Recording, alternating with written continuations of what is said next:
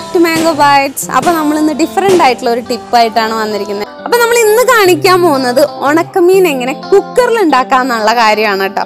അപ്പോൾ എല്ലാവരും ഉണക്കമീനൊക്കെ വീട്ടിൽ സാധാരണ ഉണ്ടാക്കുന്നവരുണ്ടായിരിക്കാം. പക്ഷെ കുക്കറിൽ നമുക്ക് ഇൻസ്റ്റന്റ് ആയിട്ട് ഈസി ആയിട്ട് എങ്ങനെ ഉണക്കമീൻ ഉണ്ടാക്കാമെന്നാണ് ഇന്ന് കാണിക്കാൻ പോകുന്നത്. തീർച്ചയായിട്ടും നിറയെ പേര് കണ്ടിട്ടുണ്ടായിരിക്കില്ല. നല്ല യൂസ്ഫുൾ ആയിട്ടുള്ള ഒരു ടിപ്പാണ് അപ്പോൾ എല്ലാവരും അവസാനം വരെ കാണാൻ മറക്കണ്ട കേട്ടോ. അപ്പോൾ നമുക്ക് ഉണക്കമീൻ ഉണ്ടാക്കി തുടങ്ങാം. അപ്പോൾ ഉണക്കമീൻ ഉണ്ടാക്കാനായിട്ട് ഞാൻ യൂസ് ചെയ്യാൻ പോകുന്ന കുക്കർ ഇതാണ് കേട്ടോ. ഉണക്കമീൻ ഉണ്ടാക്കാൻ യൂസ് ചെയ്ത കുക്കറിന് ഒരു കേടുപാടും ഉണ്ടാവില്ല. അതുകൊണ്ട് നമുക്ക് ഏത് കുക്കർ വേണമെങ്കിലും യൂസ് ചെയ്യാം. അപ്പൊ നമ്മൾ ഇവിടെ ഫിഷും വാങ്ങി വെച്ചിട്ടുണ്ട് കേട്ടോ അപ്പൊ ഞാൻ ഞങ്ങൾക്ക് ഇന്ന് കിട്ടിയിട്ടുള്ളത് ചാളയാണ്. അപ്പോൾ ഞാനിപ്പോൾ തൽക്കാലം ഇത് ഇത്രയും ചാള വാങ്ങിയിട്ടുണ്ട്.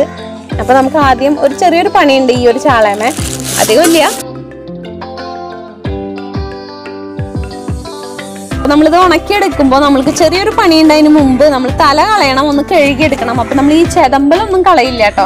പിന്നെ ഉപ്പൊക്കെ പിടിച്ചു കഴിഞ്ഞതിന് ശേഷം നമുക്ക് ചെതമ്പൽ നമ്മൾ ഉണക്കമീനായതിന് ശേഷം നമ്മൾ ചെതമ്പലൊക്കെ കളഞ്ഞിട്ട് നമുക്ക് വറുക്കേ അല്ലെങ്കിൽ കറി വെക്കാൻ ഉപയോഗിക്കുക എന്ത് വേണമെങ്കിലും ആവാട്ടോ അപ്പൊ നമ്മൾ ഉണക്കമീൻ ഉണ്ടാക്കാനായിട്ട് കല്ലുപ്പാണ് യൂസ് ചെയ്യുക. അപ്പൊ കല്ലുപ്പ് നമ്മൾ സാധാരണ ഉണക്കമീൻ ഉണ്ടാക്കാൻ കല്ലുപ്പ് യൂസ് ചെയ്യുമല്ലോ. അപ്പൊ ഞാനിവിടെ രണ്ട് പാക്കറ്റ് കല്ലുപ്പ് എടുത്തിട്ടുണ്ട് കേട്ടോ. അപ്പൊ ഇത്രയും വേണ്ടി വരില്ല.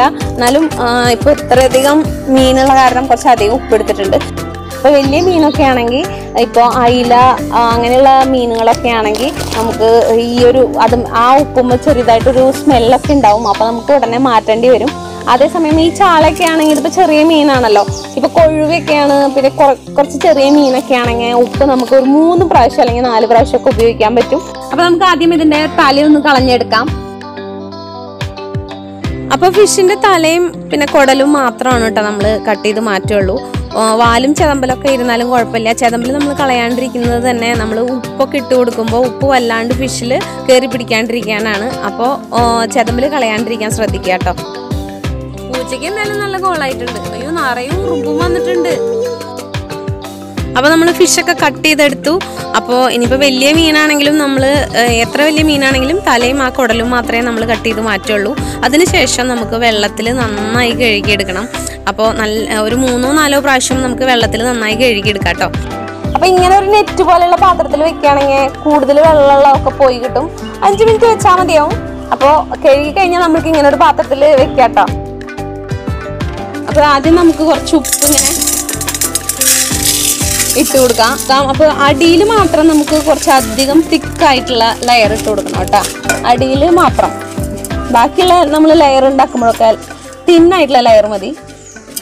അപ്പോൾ അത് കുറച്ച് തിക്കായിട്ടുള്ള ലെയറാണ് ഇനി നമുക്ക് ഇതിന്റെ മേലെ മീൻ ഇട്ട് കൊടുക്കാം. അപ്പോൾ ഇതേ പ്രോസസ്സ് തന്നെയാണ് എല്ലാ ഫിഷും നമ്മൾ ഉപ്പിലിടുമ്പോൾ അപ്പോൾ ആ മേലെ കാണിക്കുന്നുണ്ട്. അയില എങ്ങനെയാണ് ഈ കുക്കറിൽ തന്നെ ഉപ്പിലിട്ട് വെക്കുന്നതെന്ന് കുക്കറിലായിരുന്നു നമ്മൾ മീൻ ഇട്ട് കൊടുത്തിട്ടുണ്ട്. അപ്പോൾ ഇനി നമുക്ക് ഇത്തിരി കൂടി ഉപ്പിട്ട് കൊടുക്കാം മേലെ.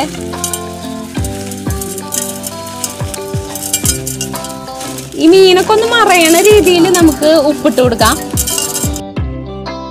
കുറച്ച് ഉപ്പ് അവിടെ ഇവിടെയൊക്കെ ആയിട്ടുണ്ടെങ്കിൽ അപ്പോൾ അതൊക്കെ നമുക്കൊന്ന് നികത്തിയിട്ട് കൊടുക്കാം.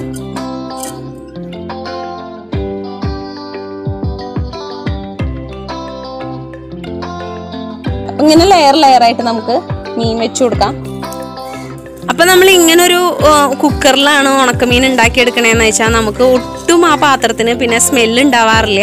അതായത് നമുക്ക് ഉണക്കമീന്റെ സ്മെല്ലൊക്കെ പ്ലാസ്റ്റിക് പാത്രത്തിലൊക്കെയാണ് ഇട്ട് വെക്കണേന്ന് വെച്ചാൽ എന്തായാലും ആ സ്മെല്ല് കുറേ നാളുകൾ ഉണ്ടാവും. എത്ര കഴുകി യൂസ് ചെയ്താലും. അപ്പൊ എല്ലാ ഫിഷും നമ്മളിതിൽ ഇട്ട് കഴിഞ്ഞു. അപ്പൊ ഇനി നമുക്കിത് മൂടി വെക്കാം.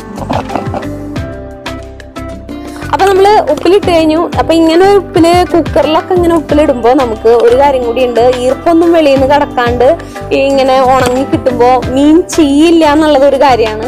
അടുത്തത് നന്നായി ഉപ്പൊക്കെ പിടിച്ച് നല്ല ഫ്രഷ് ആയിട്ടുള്ള ഇരിക്കണം മാതിരി ഫിഷ് കിട്ടും. പിന്നെ ഉറുമ്പ് അങ്ങനെയുള്ള ഇൻസെക്ട് ഒന്നും ഇതിന്റെ ഉള്ളിൽ കിടക്കില്ല. അപ്പൊ രണ്ട് ദിവസമാണ് നമുക്ക് ഇങ്ങനെ ചെയ്യേണ്ടത്. രണ്ട് ദിവസം കഴിഞ്ഞ് കഴിഞ്ഞാൽ ഫ്രഷ് ആയിട്ടുള്ള ഉണക്കമീൻ നമ്മുടെ വീട്ടിൽ തന്നെ റെഡി ആയിട്ടുണ്ടാവും. അപ്പോൾ അത് കറക്റ്റായിട്ട് രണ്ട് ദിവസത്തിന് ശേഷം നമ്മൾ ഓപ്പൺ ചെയ്യണതാണ് കേട്ടോ അപ്പോൾ ചെറിയ മീനൊക്കെ ആണെങ്കിൽ നമുക്ക് ഒന്നര ദിവസം മതിയാവും. വലിയ ഫിഷിന് എന്തായാലും നമുക്ക് രണ്ട് ദിവസം എടുക്കണം. ഓക്കെ ഇപ്പം തന്നെ അറിയാം. നോക്കി നല്ല ഉണക്ക മീനായിട്ട്. അത് ഫ്രഷാണ് നമ്മളിനി കടയിൽ നിന്നൊക്കെ വാങ്ങി പേടിക്കാണ്ട് കഴിക്കാമല്ലോ നമ്മുടെ വീട്ടിലുള്ള തന്നെയാകുമ്പോൾ അപ്പോൾ നമ്മളിങ്ങനെ ലെയറായിട്ടാണ് വെച്ചിരിക്കണേ. അപ്പം രണ്ട് ദിവസം കഴിയുമ്പോൾ എടുക്കുമ്പോൾ അധികം ഉപ്പൊന്നും പിടിച്ചിട്ടുണ്ടാവില്ല. കറക്റ്റായിട്ടുള്ള ഉപ്പായിരിക്കും. ഒരു ചെയ്യലോ ഒന്നുമില്ല അപ്പൊ നമുക്ക് ഇങ്ങനെയൊക്കെ ഉണക്കമീനുണ്ട്. ഇഷി തൊടല്ലേ? ആ, ഉണക്കമീൻ ദേ ഇത്രയ്ക്കും നമുക്ക് കിട്ടിയിട്ടുണ്ട് കേട്ടാ. നമ്മൾ അന്ന് ഇട്ടത് തന്നെ അപ്പൊ നല്ല ഫ്രഷ് ആയിട്ടുണ്ട് നിങ്ങൾക്ക് ഈ മീനിനിപ്പോ ഇപ്പൊ ആവശ്യത്തിനുള്ളത് ഉപയോഗിച്ചിട്ട് പിന്നെ നമുക്ക് കുറച്ച് ഒരു പ്ലാസ്റ്റിക് കവറിൽ സിപ്ലോക്ക് കവറിൽ നമുക്ക് ഫ്രിഡ്ജിൽ എടുത്ത് വെച്ചാൽ കുറേ കാലം നമുക്ക് ഇത് ഉപയോഗിക്കാം കേട്ടോ. ഇനി നോക്കുകയാണെങ്കിൽ ഈ ഉപ്പ് എങ്ങനെ റീയൂസ് ചെയ്യാം എന്നുള്ളതാണ് കേട്ടോ ഇനി കാണിക്കുന്നത്. അപ്പൊ ഈ ഉപ്പിലേക്ക് ശരിക്കും നോക്കുകയാണെങ്കിൽ അടിയിൽ വെള്ളം കാണാം.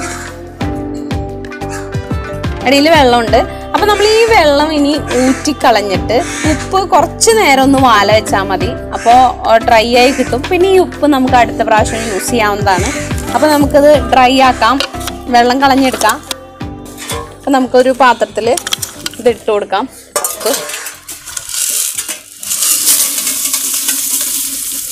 ഉപ്പ് അപ്പൊ ഈ പാത്രം നമ്മൾ കഴുകി യൂസ് ചെയ്യാം. ഇനി ഈ ഉപ്പ് നന്നായി വെള്ളമൊക്കെ വറ്റിയതിന് ശേഷം. ഇപ്പോൾ ഇത്രത്തോളം വെള്ളമുണ്ട്. ഇനി ഇത് നമുക്ക് കുറച്ച് നേരം അതേപോലെ വാല വെച്ചിട്ട് ഈ ഉപ്പ് നമുക്ക് കെട്ടിയെടുത്ത് വെക്കാം. അടുത്ത പ്രാവശ്യം നമ്മൾ ഫിഷ് ഉപ്പിലിടുകയാണെങ്കിൽ ഇത് തന്നെ യൂസ് ചെയ്യാം കേട്ടോ ഉണക്കമീൻ ഇങ്ങനെ ഇത്രയും ഫ്രഷ് ആയിട്ട് നമ്മുടെ വീട്ടിൽ തന്നെ ഉണ്ടാക്കാം എന്നുള്ളപ്പോൾ നമ്മൾ എന്തിനാണ് വെറുതെ കടയിലൊക്കെ പോയി? അതും ഇപ്പം നിറയെ പ്രശ്നങ്ങളൊക്കെ ഉണ്ട്. അത് ചീഞ്ഞ മീൻ അങ്ങനെ ചെയ്യണോ ഇങ്ങനെ ചെയ്യണോ എന്നൊക്കെ ഭയങ്കര പ്രശ്നങ്ങളല്ലേ? അപ്പം അതൊന്നും ഇല്ലാണ്ട് നമ്മുടെ വീട്ടിൽ തന്നെ ഫ്രഷ് ആയിട്ട് നമുക്ക് ഇതേപോലെ ഉണക്കമീൻ ഉണ്ടാക്കിയെടുക്കാം. അപ്പം അങ്ങനെ ഈസി ആയിട്ട് ഇൻസ്റ്റന്റ് ആയിട്ടുള്ള ഉണക്കമീൻ നമ്മുടെ വീട്ടിൽ തന്നെ റെഡിയായി അപ്പം ഇനി ഇതിന്റെ ചെതമ്പൽ കളയാനായിട്ട് കുറച്ച് നേരം വെള്ളത്തിലിടുക. അത് കഴിഞ്ഞതിന് ശേഷം ചെതമ്പലൊക്കെ കളഞ്ഞ് ഒരു രണ്ട് മൂന്ന് പ്രാവശ്യം കഴുകിയതിന് ശേഷം നമുക്ക് യൂസ് ചെയ്യാം. എന്റെ വീഡിയോസൊക്കെ നിങ്ങൾക്ക് ഇഷ്ടപ്പെടുകയാണെങ്കിൽ അല്ലെങ്കിൽ യൂസ്ഫുൾ ആണെന്ന് വിചാരിക്കുകയാണെങ്കിൽ ഒന്ന് ലൈക്ക് ചെയ്യാനും ഷെയർ ചെയ്യാനും മറക്കല്ല കേട്ടോ. റീസെന്റ് ആയിട്ട് ഒരു ചെറിയ ബാഡ് ഇൻസിഡന്റ് ഉണ്ടായിട്ടുണ്ടായിരുന്നു. ഇഷികനെ പൂച്ച മാന്തിയ ഒരു കേസ് അപ്പോൾ അതിൽ എനിക്ക് കുറേ ലേണിങ്സ് ഉണ്ടായിട്ടുണ്ടായിരുന്നു. എന്തൊക്കെ കാര്യങ്ങൾ നമ്മൾ ചെയ്യണം പ്രിക്കോഷൻസും പിന്നെ അതിനുള്ള മരുന്നുകളും എന്തൊക്കെയാണ് ഇഞ്ചെക്ഷൻസും വാക്സിൻസും ഒക്കെ കുറേ അറിയണ്ടായി. അപ്പോൾ അതൊക്കെ ഞാൻ നിങ്ങൾക്ക് ഷെയർ ചെയ്തിട്ടുണ്ടായിരുന്നു. അപ്പോൾ അതിന് നിറയെ വ്യൂസ് വന്നിട്ടുണ്ട്. ഭയങ്കര യൂസ്ഫുൾ ആണെന്ന് അറിഞ്ഞാൽ വളരെയധികം സന്തോഷമുണ്ട്. അപ്പോൾ നിങ്ങൾക്ക് ഉണ്ടാവണ ചെറിയ ചെറിയ ഇൻസ്റ്റൻസ് ആണെങ്കിലും ഇതിനോടനുബന്ധിച്ചിട്ടുള്ള കാര്യങ്ങളാണെങ്കിലും കമൻസിൽ എന്നെ അറിയിക്കാൻ മറക്കരുത് കേട്ടോ. ഒരുപക്ഷെ നിറയെ പേർക്ക് അത് കാണുന്ന നിറയെ പേർക്കും യൂസ്ഫുൾ ആയിരിക്കും. അപ്പോൾ ഇതേപോലെ തന്നെ അപ്പോൾ നമ്മളിന്ന് ഫിഷ് ഉണക്കമീൻ ഉണ്ടാക്കുകയാണ്. അപ്പോൾ ഉണക്കമീൻ നിങ്ങളുടെ അറിവുകൾ നിങ്ങൾ കമന്റ് ബോക്സിൽ അറിയിക്കാൻ മറക്കല്ല കേട്ടോ. അപ്പോൾ പുതിയതായിട്ട് ഈ ചാനൽ കാണുന്നവരാണെങ്കിൽ please subscribe to my channel നിറയെ ഹെൽത്തി ടിപ്സ് ഉണ്ടായിരിക്കും. പിന്നെ ഞങ്ങളുടെ ലൈഫ് വ്ളോഗ്സ് ഉണ്ടായിരിക്കും. അപ്പോൾ കുറച്ച് ഇൻട്രസ്റ്റിംഗ് ആയിട്ടുള്ള വീഡിയോസ് നിറയെ ഞാൻ ഷെയർ ചെയ്യും. അപ്പോൾ please subscribe to my channel അപ്പോൾ നമുക്ക് അടുത്ത വീഡിയോയിൽ കാണാം. ആൻഡിൽ ദെൻ ബൈ ബൈ